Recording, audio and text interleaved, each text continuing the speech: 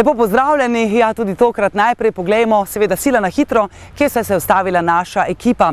Torej, udeležili smo se druge delavnice na temo razvoja vodnih virov v porečju Mislinje, potem posneli razstavo v galeriji Splošne bolnišnice Slovengradec, bili na proslavi v prazniku Vaške skupnosti Pameče Troblje, se pogovarjali s poslovno asistentko leta 2014, ki je mimo grede v Slovengracu in prisustovali otvoritvi ceste Brezova vas. Zdaj pa vse na dolgo in široko. V Mladinskem kulturnem centru v Slovengracu je bila predstavljena naloga strokovne osnove za program razvoja vodnih virov v občinah Porečja, Reka Mislinje. Torej, po naročilu občine Mislinja, Dravograd in Slovengraca jo je pripravilo podjetje TC Vode z zunanjimi sodelavci in sicer pod vodstvom doktorice Lidije Globevnik. No, naloga je, kot sem seveda izvedela, odraz zavedanja županov, da je za učinkovito upravljanje z vodami nujno pravočasno, vsestransko in tudi trajno sodelovanje med občinami občinami in tudi z državnimi institucijami. No pa prisluhnimo, kaj sta torej na to temo povedala tako podžupan mestne občine Slovengradec, kot seveda tudi župan gospod Andrej Čas. Ja, pogledajte ta delavnica o gospodarjenju z vodnimi viri v Mislinski dolini, se pravi s podarkom na reki Mislini in pa na reki Suhodolnici, tudi delno Homšnici in pa nekatere druge, je vsekakor pomembno. Te naše reke niso samo struga, po kateri oteče voda, pač pa lahko na teh prostorih naredimo marsikaj. Tu so lahko rekreacijske površine, površine, ki estetsko, estetsko nekako človeku so bolj priljubljene. Skratka, površine, vodne površine, ki so v naši občini, ki v naše mesto pravzaprav obdajajo, so primerne tako za rekreacijsko, kot tudi za ostalo vlogo. Lahko naredimo, ne vem, neka kopališča, počivališča, skratka površine, ki so primerne za oddih, za rekreacijo. Vemo, da voda, vir življenja, ob vodi si vedno spočiješ, se lahko človek umiri in upajmo, da bo kaj, prepričani smo, da bo kaj iz tega v prihodnjih letih tudi nastalo in da bodo naši občanke in občani, predvsem pa obiskovalci našega mesta, to opazili in pa bili zadovoljni s temi našimi novimi pridobitvami, ki bojo sledile. No, namen te delavnice, druga po vrsti je že sedaj, je z vsemi dejavniki, ki so nekako povezani z vodnimi viri, z porečji Mislinje in Suhodolnice v naši občini, doseči neko strategijo upravljanja s temi vodami v prihodnje. Tu gre pa za združevanje varstvenega vidika, naravovarstvenega in ekonomskega, v tem primeru turističnega, kmetijskega, povrniti vodam naravni izgled, naseliti v vode ponovno ribe in ostalo življenje, torej habitate izboljšati, povečati biodiverziteto in predvsem na ta način reke nazaj približati, kadar so pač po rekah nizko vode, nazaj življenju, tako v mestu kot na podeželju, izboljšati turistični potencial v občini in tudi reke izkoristiti tam, kjer je to možno za energetske potrebe. To je možno na nekaterih lokacijah in še en vidik, varstveni vidik z temi ukrepi, tudi izboljšati poplavno varnost, gre za suhe zadrževalnike, ki se dajo umestiti v dolini v porečju Mislinje ali Suhodolnice ali Jenine in o tem bo torej danes govora. O kakšnem finančnem vložku lahko govorimo, recimo za vse našteto, kar ste pravkar povedali? To je pa zdajle nemogoče oceniti, mi smo zdaj še v fazi, ko se preverjajo idejne rešitve. To pride na vrsto veliko kasneje, ko bomo o posameznih ukrepih že lahko tudi govorili, ko se bodo načrtovali varstveni ukrepi, se bo ustrezno vključilo tudi to delo, ki se zdaj preko delavnice preverja. Konkretno, ravno včeraj sem govorila z županom Radi Ljubljavi, gospodom Alanom Bukovnikom, začeli so z širokim projektom, torej vodnim parkom.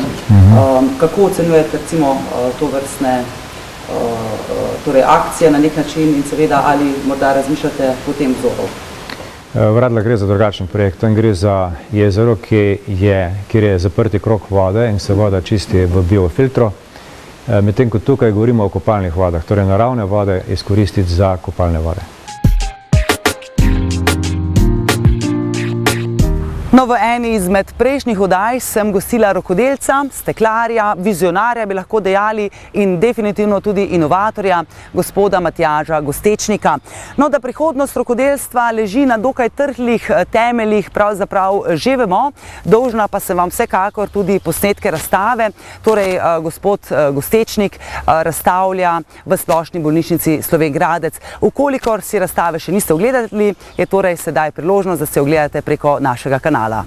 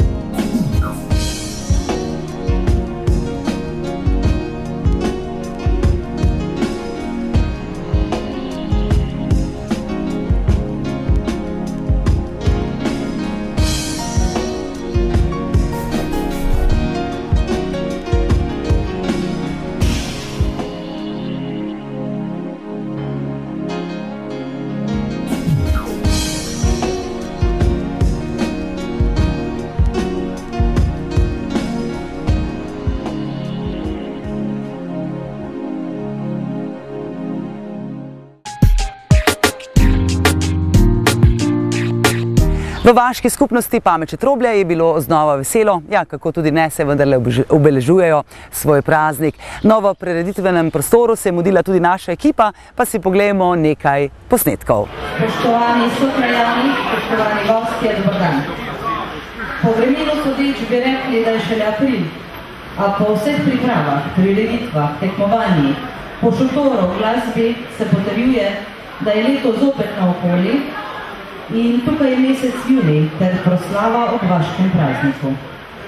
Da preženemo še zadnje oblake iz našega počutja, vabim pihalni orkester pod Trvonje pod vodstvom gospoda Sandija Kugatnika, da začne s praznovanjem. Prosim.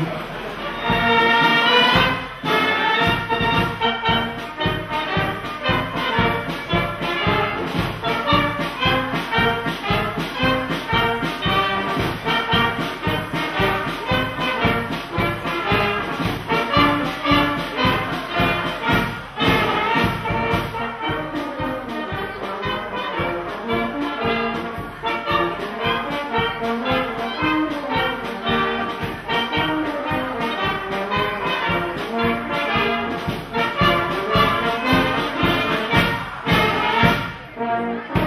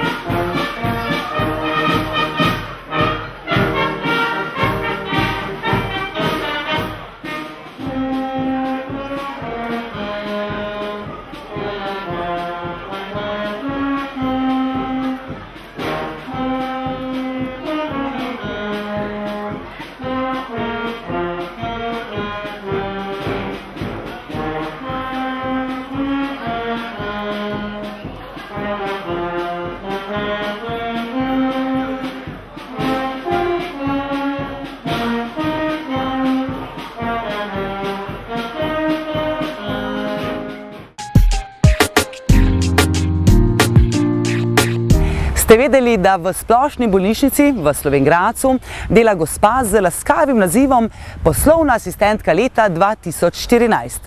Ne, no zdaj bomo vsi izvedeli vse, saj besedo predajam gospe Martini Razdevšek, kot rečeno, poslovni asistentki leta 2014. Res sem tega priznanja vesela, ker gre to za priznanje enega dobrega dela in strokovnega dela tudi mene in naše bolnišnice. Sam razpis oziroma tekmovanje pa poteka takole. Razpis za tekmovanje je, pripravil, je pripravila založba Planet GV s spletnim portalom PIA in tudi Zveza klubov tajnic in poslovnih sekretarjev Slovenije. Na pisnem delu izpita sem se uvrstila med najboljših sedem in potem tudi pred ustno komisijo dokazala komunikacijske sposobnosti in svoje strokovno znanje, tako da sem prejela ta naziv poslovna asistentka leta 2014. Kakšno pa je delo recimo poslovne asistentke, vse kar se tiče splošne bolnišnice Slovenj Gradec? Delo v moje pisarni je zelo živahno, zelo raznoliko. Vsak dan je zelo pester, veliko je dogodkov. Gre za veliko organizacijo, tule v naši ustanovi, v splošni bolnišnici Slovenj Gradec je več kot sedemsto zaposlenih in se precej dogodkov dogaja znotraj uprave ali tudi med posameznimi oddelki. Tako da je treba dosti dogodkov skomunicirati ali znotraj hiše ali navzven. Tako da je treba v vsakem trenutku se znajti in najti eno pravo ustrezno rešitev za trenutek. Kaj pa recimo vaš naziv pravzaprav pomeni za splošno bolnišnico Slovenj Gradec, recimo še nekako na široko pozabila ta naziv? Splošna bolnišnica Slovenj Gradec je ustanova, ki je namenjena našim občanom, vsem, ki iščejo pomoč za, kadar imajo težave z zdravjem. Zato je tudi ta, to moje priznanje dokaz dobrega dela naše ustanove, saj je vsak poklic, ki je v naši ustanovi, je usmerjen k temu, vsi imamo za cilj, da na svoj način pomagamo za dobrobit naših pacientov. In tako jaz tudi vzamem moje delo, čeprav ni strogo medicinsko. Ste se prijavila prvič ali ste kdaj že poskušali pridobiti ta laskavi naziv? Ja, letos sem se prijavila prvič in uspelo mi je kar takoj. Hvala lepa. Prvo vam je uspelo. Morda za kakšen napotek za vse tiste, ki se morda ravno v tem trenutku odločajo za študij poslovnega asistenta, kaj je torej, kaj pomeni biti poslovni asistent, zakaj recimo se odločiti za ta študij, kot neki napotek seveda? Ja, to je zelo pestro delo, vsaj tako ga jaz doživljam in vidim. In mladim bi svetovala, da je to poklic, ki zahteva široko razgledanost, spretnost, dobro poznavanje podjetja, v katerem delaš, ali ustanove. In če imajo veselje do tega, naj se le odločijo za študij in gotovo bodo v svojem poklicu uspešni. Pred dnevi smo bili priča otvoritvi dveh prenovljenih cestnih odsekov, ki se nahajata v naselju Brezova vas. No, celotno traso, gre za približno petsto metrov, so, kot mi je zaupal torej predsednik Vaške skupnosti Legen, torej renovirali približno sedem oziroma osem let, pri čemer se je zgradil tudi most. No, in v tem sklopu, torej v sklopu te renovacije, se je uredila tudi kompletna infrastruktura, torej celotna elektrika, vodovod, kanalizacija in nenazadnje tudi javna razsvetljava.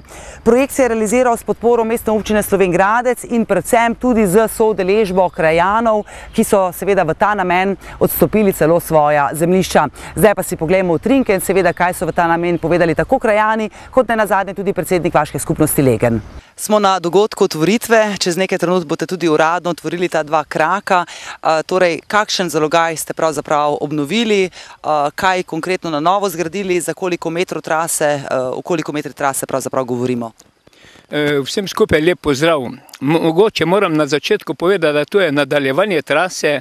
Ta cesta se začne pri državni cesti devetsto dvaintrideset in teče preko potoka Barbara in Novega mostu do oba kraka Brezove vasi. Pred devetimi leti smo mi do tega trenutka oziroma do tukaj zgradili prvi del trase, ta drugi del trase pa smo gradili v lanskem letu z infrastrukturo, to se pravi kanalizacije, vodovoda, elektrike in vseh ostalih stvari, ki spadajo tu noter. In pa seveda sedaj smo potem dokončno obnovili ta dva kraka proti levo in desno proti Brezovi vasi. Cela trasa je v dolžini okrog 500 metrov. Samo ta del, ki ga pa odpiramo letos oziroma danes, pa je približno v vrednosti 180 tisoč evrov. To pa zaradi tega, ker smo morali tudi zgraditi eno večjo škarpo, škarpa tule ni vidna, je za tistimi hišami in pa seveda za vso ostalo infrastrukturo in tudi pridobljeno dokumentacijo. No, kar nekaj lastnikov je v ta namen odstopilo svoja zemljišča, nekateri so tudi finančno pomagali. Ja, moram reči tako, v prvem delu smo, so morali vsi finančno prispevati, da smo sploh prišli do tega programa in realizacije tistega prvega dela. Takrat smo se tudi dogovorili, da bomo to traso nadaljevali, moram se pa zdaj iskreno zahvaliti družini Krivec, po domače, drugače Rader Darkotu in njegovi ženi, ki sta tako dobrovoljno odstopila zemljišče za to traso.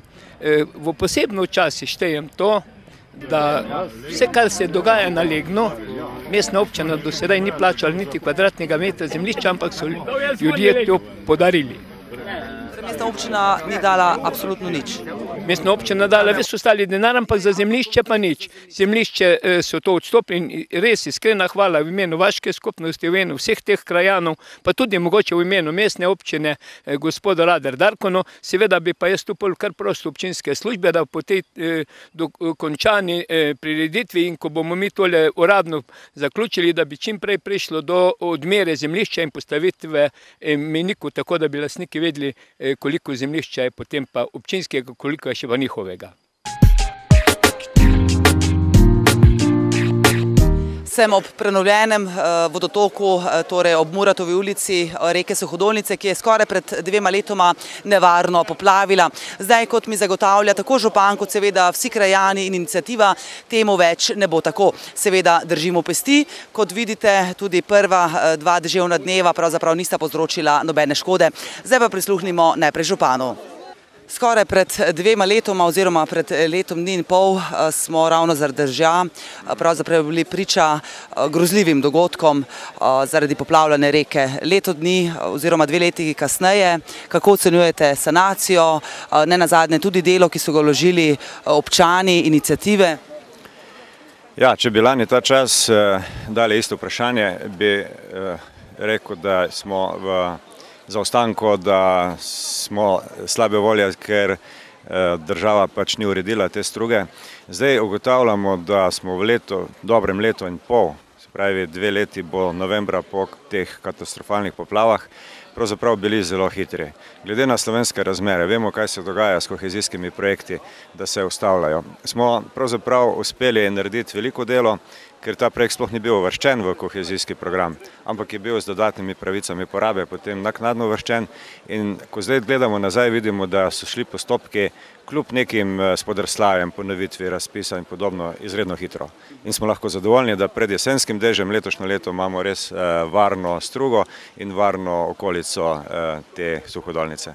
Sicer pa že dvodnevno deževje na neki način tudi nakazuje, kako varna je pravzaprav struga Suhodolnice. Ja, pravzaprav se skoraj ne pozna, imamo naraslo vodo, ki je nikjer ne vidimo, ampak mi moramo biti pripravljeni na tiste res velike vode, ki mislim, da upajmo, da jih ne bo, ampak če pridejo, bo to območje zdaj izven poplavnega območja. Je projekt absolutno končan, stojima na tleh, deluje nekoliko nedokončana, zgolj laično moje osebno mišljenje? Ja, zaradi pogojev, ki veljajo za tovrstne ukrepe, se asfaltna prevleka na to stezo ni smela vgraditi in torej prišlo je do neke spremembe v projektu, ampak jaz mislim, da tale peščena pot za sprehode, za kolesa bo vseeno lepo služila namenu, lahko jo pa tudi kasneje asfaltiramo. Menim, da je izvedba dokaj kvalitetna, nekaj popravki se bojo verjetno delali še zaradi ribičev, torej vgradnja večjih skal za ribja zatočišča, potem pride na vrsto še hortikultura, koliko bomo uspeli to se uskladiti z izvajalcem, nekaj pa bomo morali sami, da bo ta steza tudi imela lep drevored in senčko in podobno. Torej, kot podpornik projekta, kot del neke inicijative, ki je skrbela, da torej, naša reka ne bo več poplavljala, vse upamo, da je temu tako. Kako ocenujete projekt, kako ocenujete pravzaprav tudi inicijativo krajanov, someščanov, ki so vložili kar nekaj truda, ur in torej volje v sam projekt? Lep pozdrav. Jaz samo ocenjujem, da je lansko leto, pravzaprav začetek leta, bilo presodno za to, kar danes vidimo tukaj, ker so se lani ustanovile po teh predlanskih poplavah eh, civilne inicijative, tako tukaj na območju ob Suhodolnici, kot tudi ob Homšnici. In takrat sem kot svetnik, pa tudi kot občan, ki sem sodeloval pri reševanju tako ob Homšnici kot ob Suhodolnici, nekako smatral dolžnega, da se vključim v delo in pobude, ki jih je tudi civilna inicijativa takrat dajala. Moram povedati, da v začetni fazi je izgledalo, izhajajoč iz formalnih podlag in izračunov države, zelo slabo za našo občino, ker smo bili nekako na obrobju tistih, ki bi jim naj bila zagotovljena velika ali pa potrebna sredstva za saniranje naših vodotokov.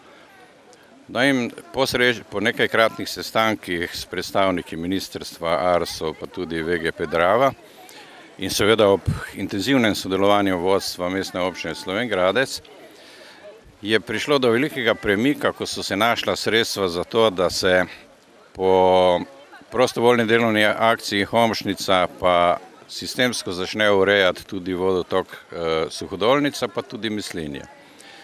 In od takrat naprej seveda so tekle vse aktivnosti ob naši podpori zlasti pa v podpori tudi tukaj lokalnih predstavnikov četrtne skupnosti in tisti, ki so se čutili prizadete ob teh in ogrožene zaradi tega vodotoka.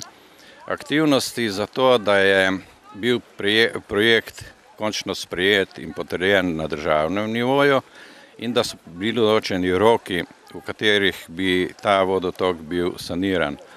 E, moram reči, da sem zelo zadovoljen in zelo presenečen, da je tokrat pa tako država kot sami izvajalci, pa tudi projektanti, da so se držali rokov in da so pri nas upravljali eno delo, ki ga jaz sam in sem ga tudi že na občinskem svetu ocenil kot zgodovinsko pomembnega. Zavedati se treba, da v obdobjih, ko je v naši občini ali pa v državi bilo dovolj sredstev, da bi se lahko še marsikaj večjega uredilo, da v tistem obdobju nekih velikih posegov ali pa velikih projektov v tem okolju zlasti na področju urejanja vodotokov in protipoplavne zaščite ni bilo upravljenih in da je skoraj, da bi rekel, da skoraj da čudeš, ne, da smo uspeli z skupnimi močmi, moram reči, da vseh komponent, od uradnih predstavnikov občine do države, do civilnih inicijativ in krajano, ki živijo na teh območjih, pa doseč to, kar danes imamo.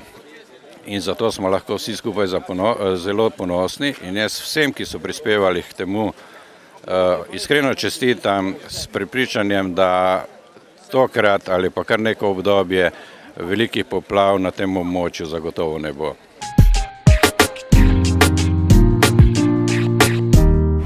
Hvala za vašo pozornost. Ja, ostanite vsekakor v senci in v naši družbi. Nadaljujemo z oddajo Obzornik, katero je tudi tokrat pripravila Anita Springer iz KTV Dravograd. Kot rečeno, senca in bodite skrajno. Srečno!